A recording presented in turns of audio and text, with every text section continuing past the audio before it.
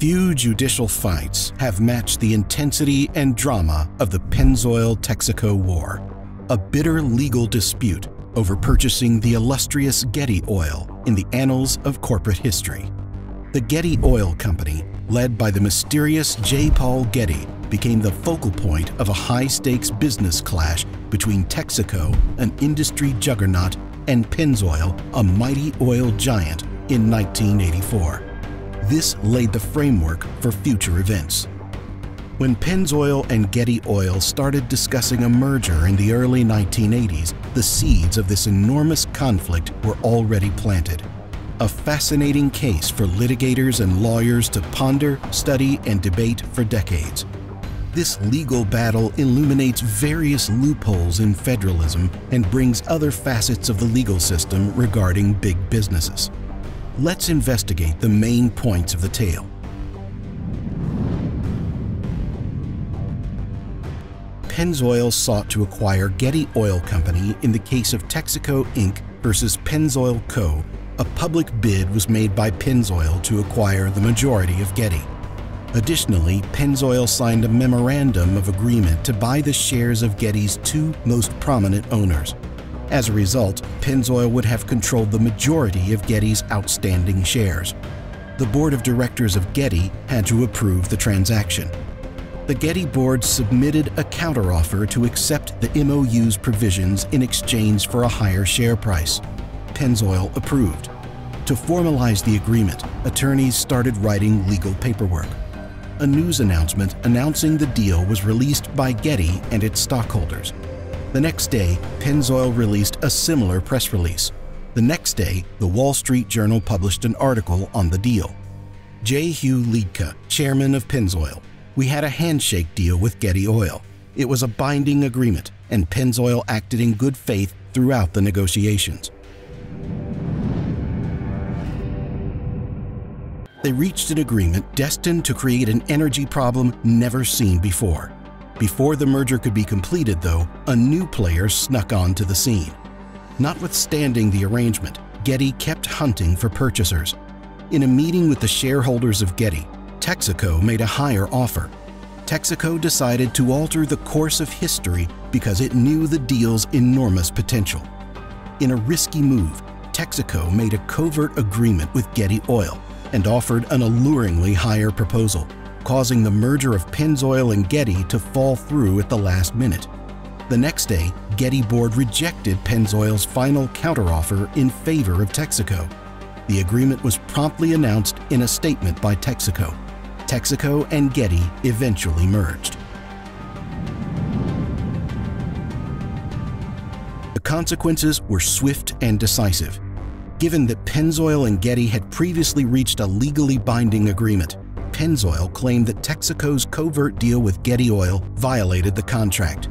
Once the battle lines had been established, a grueling courtroom spectacle that would put both legal teams to the test ensued. In 1985, Pennzoil sued Texaco in Houston, Texas, demanding an astounding 14 billion in damages a staggering amount even by modern standards. The trial received a lot of media coverage, making it the trial of the century and enthralling viewers worldwide. The main issue was whether or not Pennzoil and Getty Oil had created a legally enforceable contract. Pennzoil said that their discussions with Getty were advanced and that a handshake deal had been reached.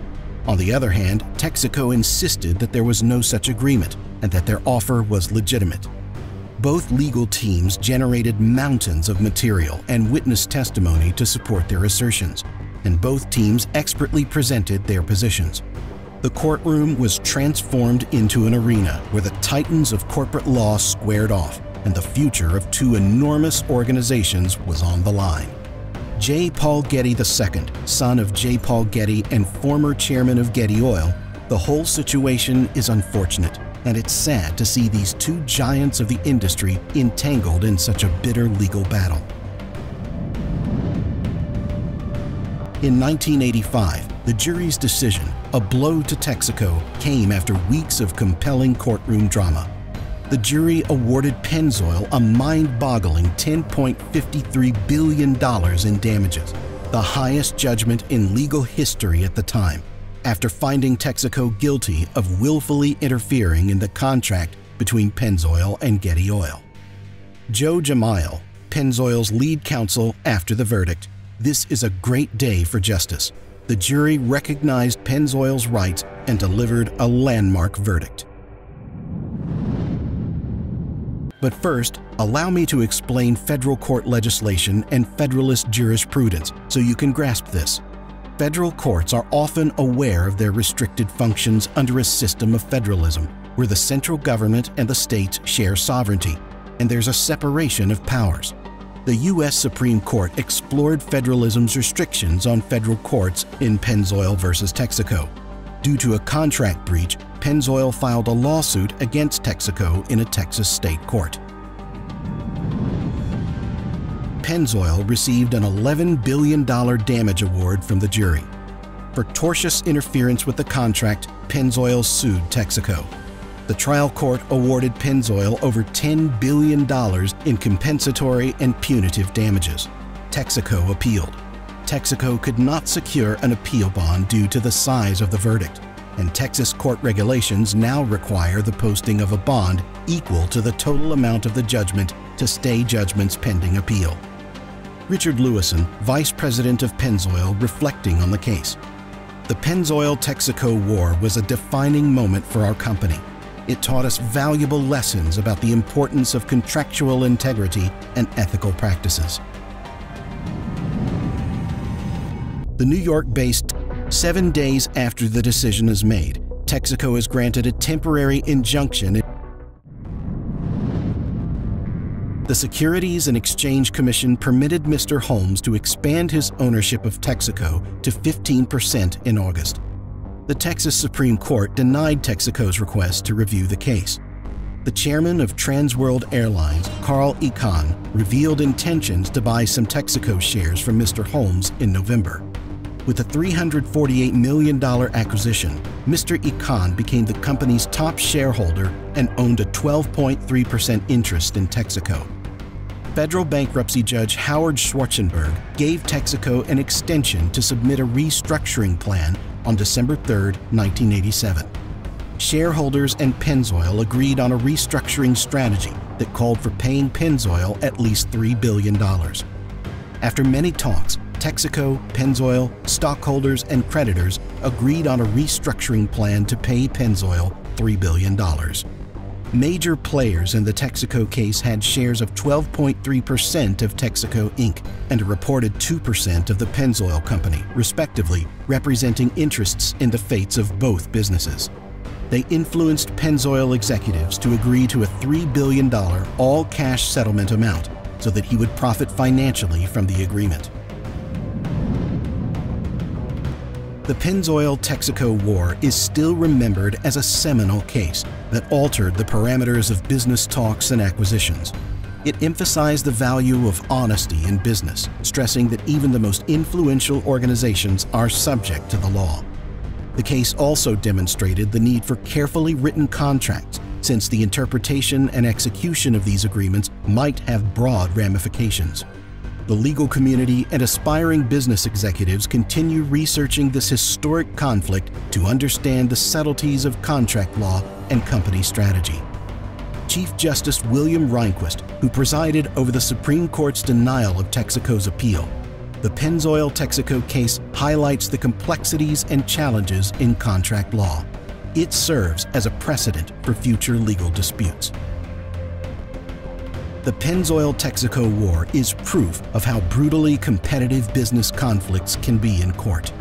It serves as a reminder that intricate discussions, moral problems, and the search for justice surround every sensational judicial drama.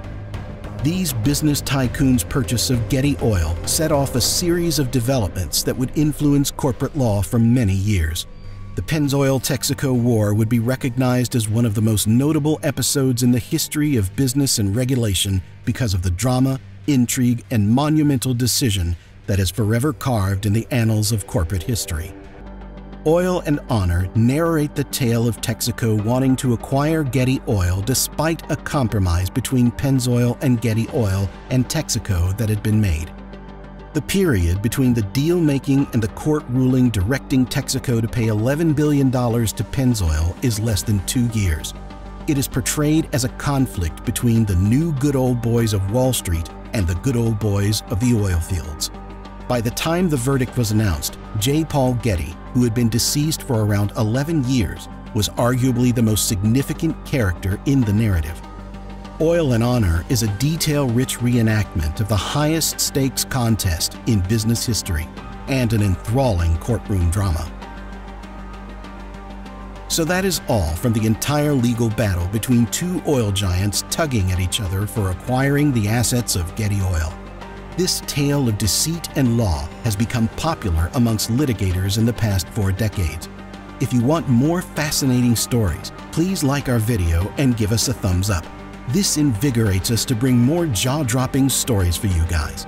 And remember to like our channel and subscribe for more amazing content. Till next time, see you.